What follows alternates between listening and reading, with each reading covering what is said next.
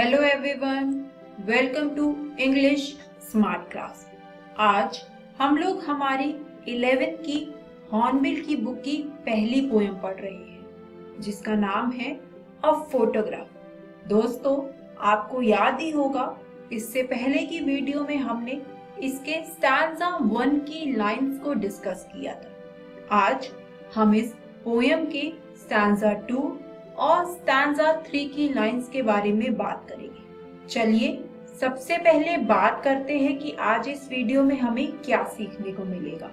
आज इस वीडियो में हम लोग बात करेंगे एक्सप्लेनेशन फॉर लाइन 10 टू 19 यानी कि स्टैंजा 2 एंड स्टैंजा 3 उसके बाद हम लोग इन लाइंस के एनालिसिस के बारे में बात करेंगे। चलिए शुरू करते हैं सबसे पहले, बात करते हैं कुछ डिफ़िकल्ट वर्ड्स के बारे में।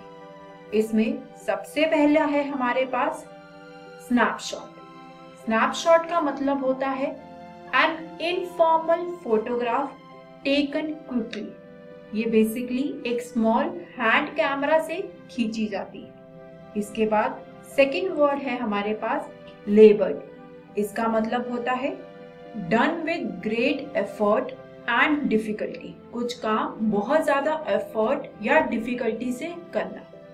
And the last and final word है हमारा सर्कमस्टांसेस इसका मतलब होता है अ फैक्ट और कंडीशन कनेक्टेड विद और रेलेवेंट टू एन इवेंट और एक्शन यानी कभी कभार कुछ सर्कमस्टांसेस ऐसे बन जाते हैं कि हम लोग अपना होमवर्क नहीं कर पाते।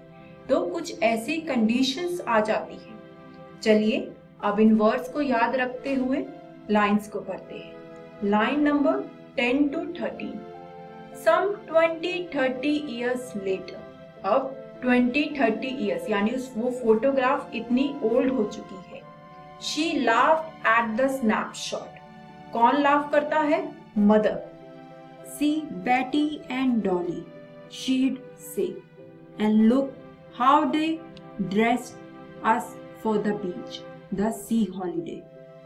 यानी कि इन लाइंस में जो पोएट है वो रिमेम्बर करती है कि किस तरह से जब उसकी मदर उस फोटोग्राफ को देखती थी तो हंसने लग जाती थी और वो हंसती इसलिए थी क्योंकि उसे जो बेटी और डॉली ने जो सी हॉलिडे के लिए कपड़े पहने होते थे उनको देखकर वो काफ़ी ज़्यादा हिलेरियस लगते थे उन्हें वो कपड़े दोस्तों, आपको ये जो मदर की लाफ्टर है, ये काफ़ी ज़्यादा बिलो सरफेस लग रही होगी, बड़ी नॉर्मल लग रही होगी। पर इसके पीछे एक डीप मीनिंग भी है। वो ये है when we grow older and are made to become mature और जब हम टाइम के साथ साथ सीरियस हो जाते हैं तो वो हमें जो यूथफुल केयर होती है और बचपन की जो छोटी छोटी चीज़ें होती है, वो बड़ी सिली लगती है। जैसे कि जब हम छोटे होते हैं, तब हम हॉलीडे पे कहीं अगर बाहर जा रहे हैं तो कितना एफर्ट डालते हैं अपने ड्रेसअप पे। लेकिन बड़े होकर हमें वो सारी चीज़ें बड़ी ही, क्या कहते हैं, मजाकिया लगती है। तो वही यहाँ पर पोएट की मदर के साथ भी हुआ। आगे बात करते हैं लाइन टेन टू थर्टीन यानी जो लाइंस हमने अभी पढ़ी उनके एनालिसिस के बारे में। इसमें एक अंडरलाइन नॉस्टैल्जिक करंट था, यानी कि मदर अपने बीते हुए समय को याद कर रही थी। उसके बाद जो पोएट है उसने यहाँ पर कॉन्ट्रास्ट क्रिएट किया है। और वो किस तरह से क्रिएट किया है? पहला तो जो मदर है, वो अपने यूथफुल डेज़ को याद कर रही है। और दूसरा, जो शर्ली है, यानी कि जो हमारी पोएट है, वो अपने मदर की लाफ्टर को मिस कर रही है। यानी कि दोनों ही पोएट और पोएट की मदर कुछ ना कुछ मिस कर रही है। एक अपनी यूथफुल के हैप्पी डेज़ को तो वही दूसरी तरफ़ अपनी मदर की लाफ्टर को। एंड द लास्ट वन जो दोनों पास्ट की यहाँ पर बात हो रही है, उसमें लाफ्टर और हैप्पीनेस है। यानी कि जो वो फोटोग्राफ है, अगर वो कुछ सैडनेस लेके आ रही है तो वो अपने साथ एक हैप्पी टाइम की मेमोरी भी लेके आ रही है। चलिए दोस्तों, अब बात करते हैं लाइन 14 टू 15 की। सबसे पहले लाइंस को पढ़ते हैं। Was her past mind is her laughter both wry with laboured ease of loss जैसे कि इससे पहले वाले एनालिसिस में हमने बात करी थी कि जो मदर है, उसके लिए उसके यूथफुल डेज़ अब एक पास बन चुके हैं। तो वही दूसरी तरफ़ पोएट के लिए उसकी मदर की लाफ्टर अब ये जो वर्ड्स है both wry with the laboured ease of loss indeed poet ने यहाँ पर बहुत ही खूबसूरत वर्ड्स को लिखा है और यहाँ पर ये जो लाइन है, ये हमें कन्वे कर रही है कि जो ह्यूमन है, वो बड़ा ही हेल्पलेस होता है। जैसे कि अगर किसी की डेथ हो गई है उनकी फैमिली में किसी क्लोज वन की तो उनको एट द एंड एक्सेप्ट करना पड़ता है। वो कुछ कर नहीं सकते, क्योंकि अगर एक पर्सन की एक बार डेथ हो चुकी है तो वो वापस नहीं आ सकता। तो जो लोग पीछे रह गए हैं, उन्हें वो एक्सेप्ट करना होता है कि अब उनकी जो एक फैमिली मेंबर है, वो उनकी लाइफ से जा चुका है। और ये जो वर्ड है लेबर ईज ये एक ऑक्सीमोरॉन है।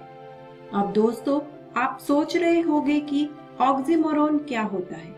तो ऑक्सीमोरॉन बेसिकली एक पोएटिक डिवाइस है, जिसमें दो ऑपोजिट वर्ड्स को आपस में एक साथ यूज़ किया जाता है। और ये वर्ड्स रिप्रेजेंट करते हैं the difficulty and struggle one has to go through दोस्तों, अब बात करते हैं लाइन 16 टू 17 की। सबसे पहले लाइंस को पढ़ते हैं। Now she has been dead nearly as many years finally अब हमें पता लगता है कि जो पोएट की मदर है, वो एक्चुअली में डेथ हो चुकी है उनकी। वो अब पोएट के साथ नहीं है।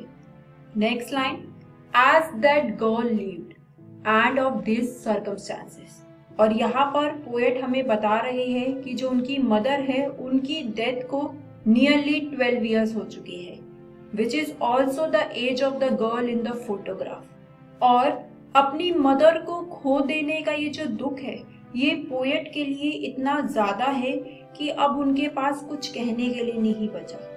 And she can only remember her laughter वो अपनी मदर की लाफ्टर को दोबारा सुन नहीं सकती। सिर्फ़ वो लाफ्टर पोएट की मेमोरीज में कैप्चर है। बात करते हैं अब पोएम की कंक्लूडिंग एंड फाइनल लाइंस की। सबसे पहले लाइंस को रीड करते हैं। There is nothing to say at all it's silence silence यहाँ पर पोएट ने बहुत ही ज़्यादा सुंदर ब्यूटीफुल वर्ड्स का यूज़ किया है और बहुत ही अच्छा वर्ड प्ले किया है। क्योंकि जो पोएट की मदर की डेथ है, उसने अल्टीमेटली एक साइलेंस इम्पोज कर दिया है।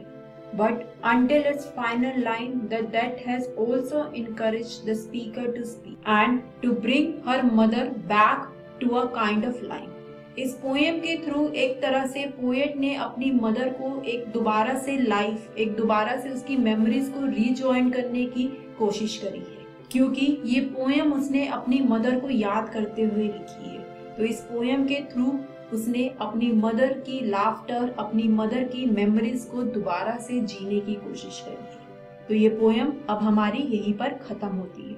बात करते हैं कि आज इस वीडियो में हमें क्या सीखने को मिला। आज इस वीडियो में हमने मदर और डॉटर के ब्यूटीफुल रिलेशनशिप के बारे में बात करी। और उसके बाद हमने इस पोयम को एक ग्लूमी एक सैड नोट पे खत्म किया, क्योंकि जो पोएट है at the end finally reveal करती है कि अब उसकी मदर उसके साथ नहीं है। और उसने इस पोयम को अपनी मदर की याद में लिखा है, अपनी मदर की मेमोरीज को रिक्रिएट करने के लिए, दोबारा जीने के लिए इस पोयम को उसने लिखा है। और ये पोयम हमारी हॉर्नबिल की बुक की पहली पोयम है। तो आप घर जाके इसके स्टैंडा टू और स्टैंडा थ्री की लाइंस को दोबारा एक बार फिर से रीड करना, ताकि आपको ये लाइंस और अच्छे से समझ आ जाए। बात करते हैं कि इससे अगली वीडियो में हम लोग क्या सीखेंगे। इससे अगली वीडियो में हम लोग इस पोयम के प्रैक्टिस क्वेश्चंस को डिस्कस करेंगे। तो दोस्तों मिलते हैं नेक्स्ट टाइम